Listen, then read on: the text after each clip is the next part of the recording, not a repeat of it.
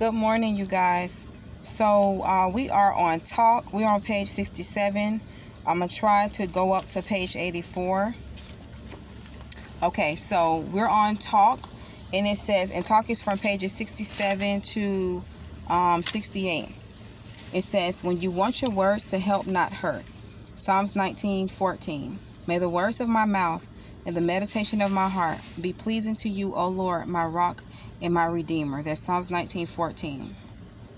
Proverbs 25:11.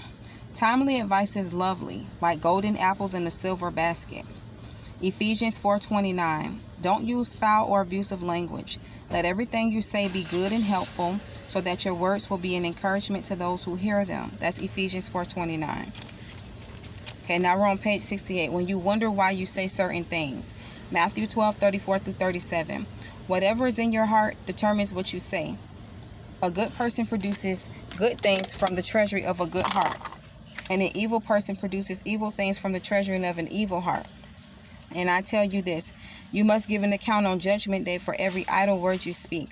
The words you say will either acquit you or condemn you. Matthew 12 34 through 37. Guys, it is a little busy out. I went grocery shopping in the first video uh, when I did the ladies video. Now I'm out at another stop before I get back on the road. So sorry guys about the noise, but I have to press in with these videos, guys. So, you know, please excuse me with that. So that's Matthew 12, 34 through 37. So this next one, when your tongue gets you in trouble. Psalms 34, 12 through 13. Does anyone want to live a life that is long and prosperous? Then keep your tongue from speaking evil and your lips from telling lies. That's Psalms 34, 12 through 13. James 1:19. You must all be quick to listen, slow to speak, and slow to get angry. Okay, this is when people accuse you for your faith. Psalms 57:3.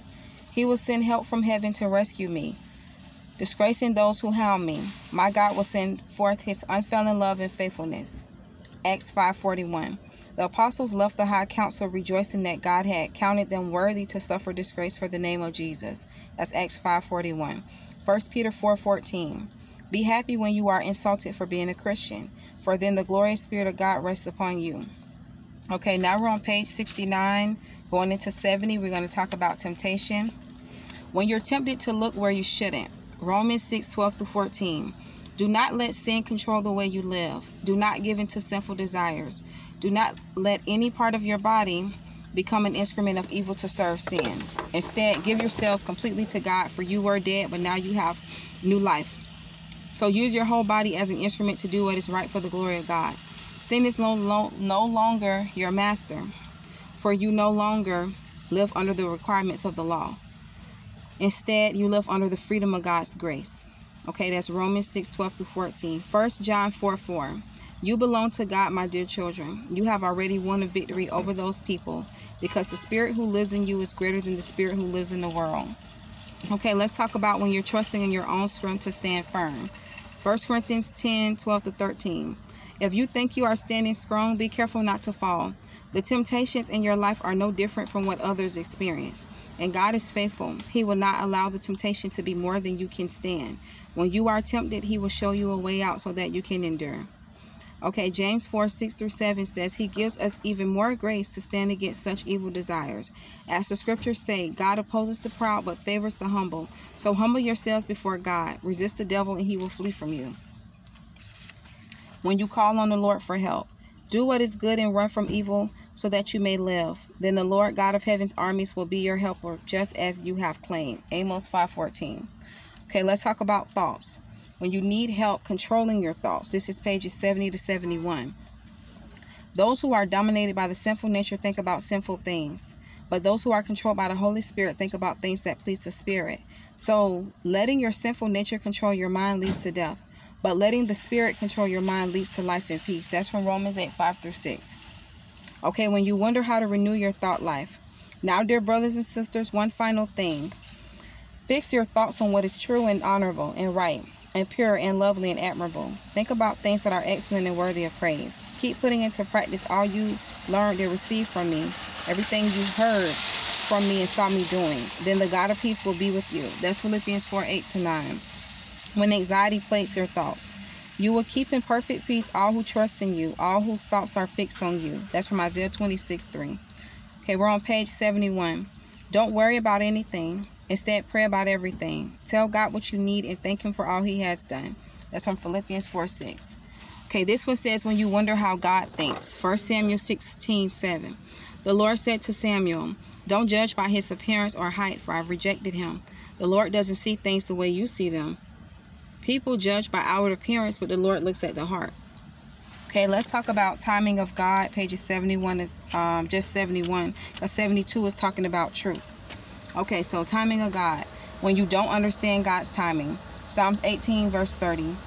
God's way is perfect. 2 Peter 3 8 says, You must not forget this one thing, dear friends. A day is like a thousand years to the Lord, and a thousand years is like a day. Okay, when every day is seen as an opportunity from the Lord. Psalms 90, verse 12. Teach us to realize the brevity of life so that we may grow in wisdom. 2 Peter 3 9. When you wonder why Jesus hasn't come back yet, the Lord isn't really being slow about his promise as some people think. No, he is being patient for your sake. He does not want anyone to be destroyed, but wants everyone to repent. That's 2 Peter 3 9. Okay, let's talk about truth. It's page 72. When you want to know the truth. 2 Timothy 3:16. All scripture is inspired by God and is useful to teach us what is true and to make us realize what is wrong in our lives. It corrects us when we are wrong and teaches us to do what is right.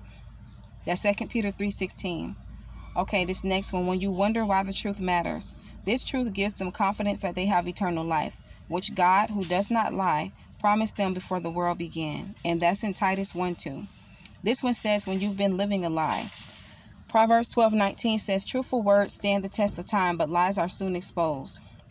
Colossians 3 9 through 10. Don't lie to each other, for you have stripped off your old sinful nature and all its wicked deeds. Put on your new nature and be renewed as you learn to know your creator and become like him. That's Colossians 3 9 to 10. 1 Timothy 4 16. Keep a close watch on how you live and on your teaching. Stay true to what is right for the sake of your own salvation and the salvation of those who hear you. That's 1 Timothy 4:16. Okay, this one says, "When you wonder if Jesus is the only true way to heaven." John 14:6. Jesus told him, "I am the way, the truth and the life. No one can come to the Father except through me. Excuse me, guys. Let me get something to drink real quick. Okay, we're going to go to the next page now. We're talking about victory, which is just all of page 73. It says, when you feel defeated. You have rescued me from my troubles and helped me to triumph over my enemies. That's Psalms 54, verse 7. Romans 8, 35 to 37.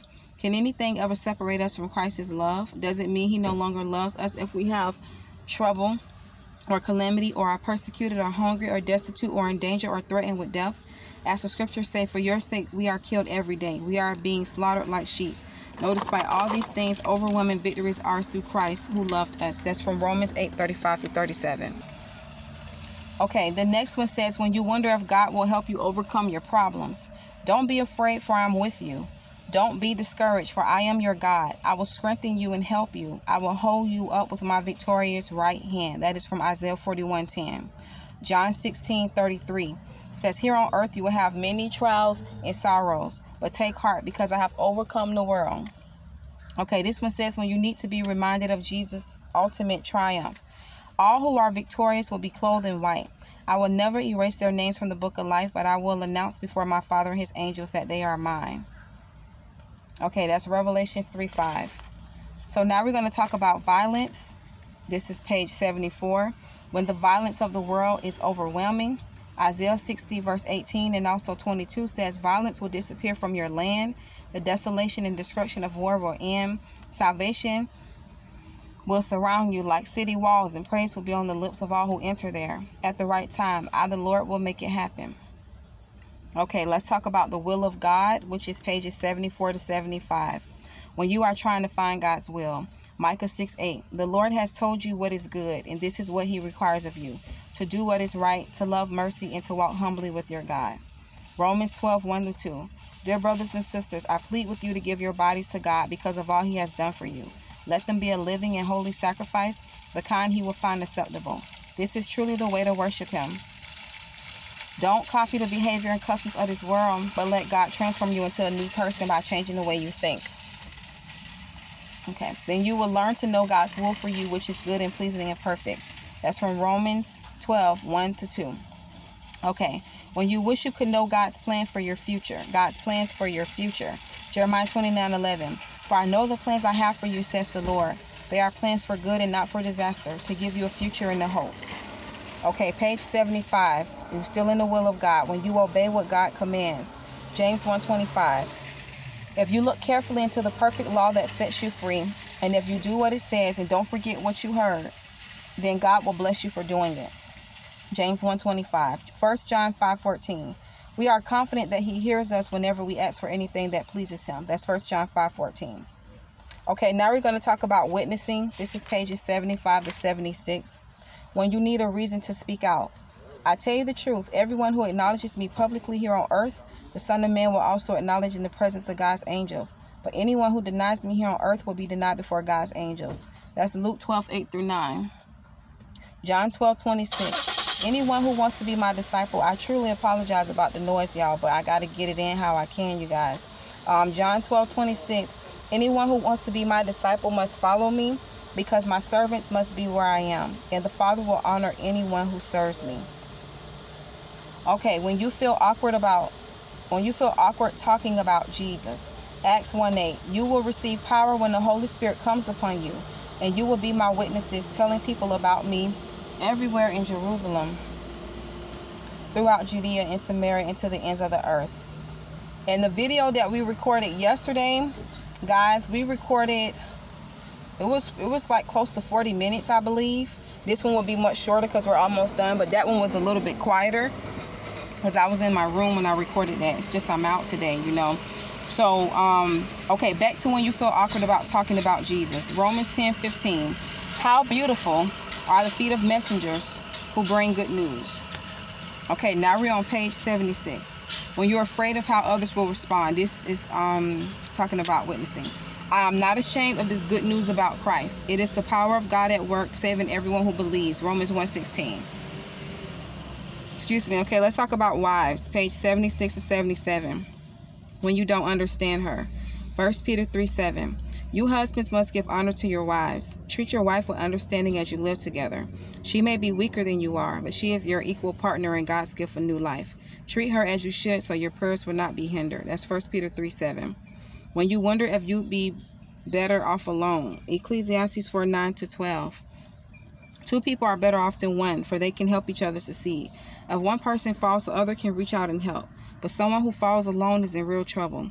Likewise, two people lying close together can each can keep each other warm. But how can one be warm alone? A person standing alone can be attacked and defeated, but two can stand back to back and conquer. Okay, when you disagree with her. Colossians 3:12 through 13. Since God chose you to be the holy people he loves, you must clothe yourselves with tender-hearted mercy, kindness, humility, gentleness, and patience. Make allowance for each other's faults and forgive anyone who offends you. Remember the Lord forgave you, so you must forgive others. Page 77, when you want your love to last. 1 Corinthians 13, 13. Three things will last forever. Faith, hope, and love, and the greatest of these is love. Ephesians 5:28 says, "Husbands ought to love their wives as they love their own bodies, for a man who loves his wife actually shows love for himself." That's Ephesians 5:28. Okay, let's talk about um work, work. Page um 77 to 78. Okay, when you think your efforts go unnoticed at work, Colossians 3:23 to 24 says, "Work willingly at whatever you do, as though you were working for the Lord rather than for people." Remember that the Lord will give you an inheritance as your reward and that the master you are serving is Christ. Okay, when you feel burnt out in your job, Psalms 23 1 through 3 says, The Lord is my shepherd. I have all that I need. He lets me rest in green meadows. He leads me beside peaceful streams. He renews my strength. He guides me along right paths, bringing honor to his name. 2 Corinthians 4 7. We now have this light shining in our hearts, but we ourselves are like fragile clay jars containing this great treasure. This makes it clear that our great power is from God, not from ourselves. Okay, page 78, still talking about work. When you need a better perspective on your work, Matthew 5 16. Let your good deeds shine out for all to see so that everyone will praise your heavenly Father. Philippians 1 6. When you are not sure if God is working in you, and then it gives you Philippians 1 6. It says, I am certain that God, who began the good work within you, will continue his work until it is finally finished on the day when Christ Jesus returns. Okay, we about to talk about worship.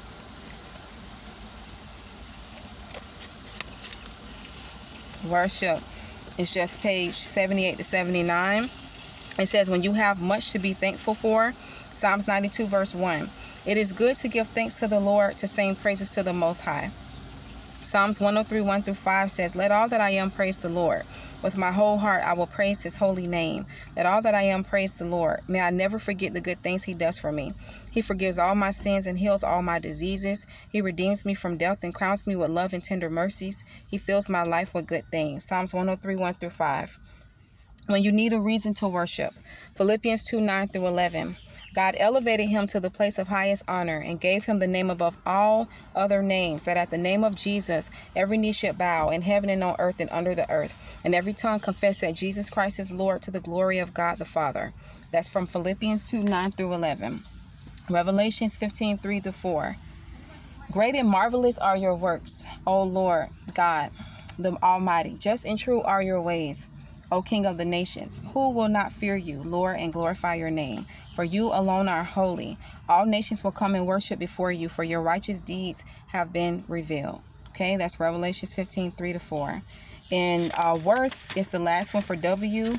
Um, and then it just goes into favorite verses and I am going to read that to you guys and then like the back of the book just has a space like if you want to take notes and I encourage you um, that these videos for the men have been for um, you know, take some notes or, you know, on your electronic device or write out or just reflect over, you know, some things that God is saying to you or like some of the scriptures or things that kind of stood out to you while we were reading this book.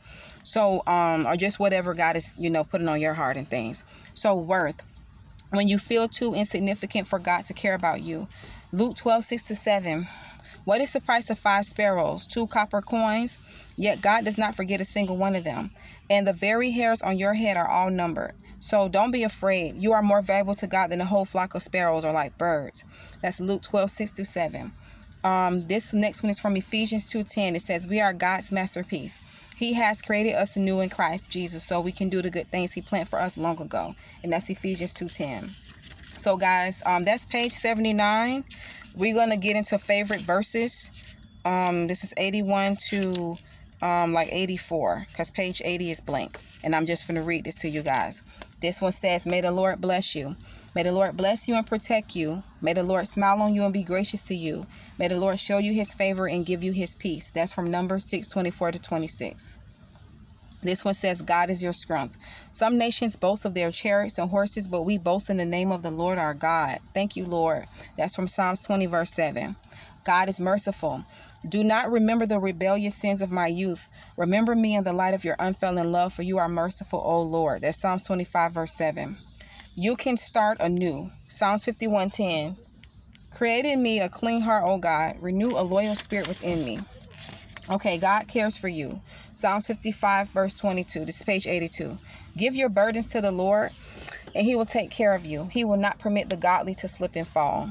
God is in control. Proverbs 19, 21. You can make many plans, but the Lord's purpose will prevail. Work well. Um, this one is from Ecclesiastes 9:10. Whatever you do, do well. God is able. Jeremiah 32 27. I am the Lord, the God of all the peoples of the world. Is anything too hard for me? the Lord's Prayer Our Father in heaven, may your name be kept holy. May your kingdom come soon. May your will be done on earth as it is in heaven. Give us today the food we need and forgive us our sins as we have forgiven those who sin against us. And don't let us yield to temptation, but rescue us from the evil one. Matthew 6 9 through um, 13. Setting priorities. Matthew 6 33. Seek the kingdom of God above all else, and love righteously, and He will give you everything you need. Okay, we're on page 83 now. Persistence is rewarded. Keep on asking and you will receive what you ask for. Keep on seeking and you will find. Keep on knocking and the door will be open to you. For everyone who asks receives, everyone who seeks finds, and to everyone who knocks the door will be open. Matthew 7 7 through 8. Okay, God offers rest. Matthew 11 28. Come to me, all of you who are weary and carry heavy burdens, and I will give you rest. Becoming a child of God. John 1 12. To all who believed him, and accepted him, he gave the right to become children of God. Okay, Romans 8 18 is talking about suffering is temporary. That was becoming a child of God. Okay, what we suffer now is nothing compared to the glory he will reveal to us later. Romans 8 18. Our weakness displays his strength. 2 Corinthians 12 9. Each time the Lord said, My grace is all you need. My power works best in weakness. So now I am glad to boast about my weakness weaknesses so that the power of Christ can work through me. That's 2 Corinthians 12 9. Last page, you guys. This is um, living for Christ. Galatians 2:20. My old self has been crucified with Christ. It is no longer I who live, but Christ lives in me. So I live in this earthly body by trusting in the Son of God who loved me and gave himself for me. Galatians 2:20. Pray continually. Pray in the spirit at all times and on every occasion. Stay alert and be persistent in your prayers for all believers everywhere. That's from Ephesians 6:18.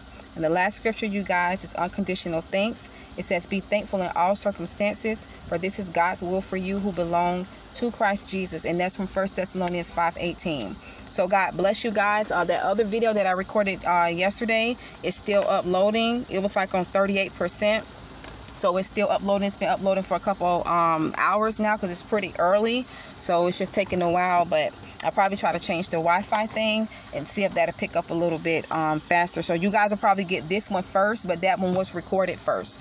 So um, if you wanna, well, I probably should have said that in the beginning, but if you already listened to it, then you already listened to this. So you can go back and get that one, or you may just watch that one first and then come back to this one. But anyway, thank you guys for tuning in. I really hope that you all have been encouraged. I pray uh, peace and blessings to you guys and your families, and you know, you guys be blessed.